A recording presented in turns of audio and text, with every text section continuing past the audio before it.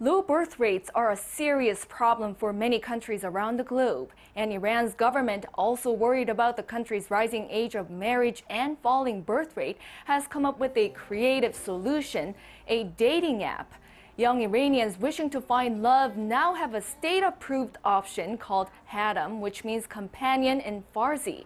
Although there are concerns about this app, including displaying the height and weight of female users, one local resident said it would be a good thing for this app to find its place in the market. Young people will likely stop using foreign applications such as Tinder, and if they do, they will have to use VPNs. Hadam is so far the only legal matchmaking app in Iran, and it requires users to take a psychology test and gives advice for young singles to find their marriage partner. Iranian media reports say Iran's fertility rate stands at about 1.7 children per woman and has dropped by some 25% over the past four years.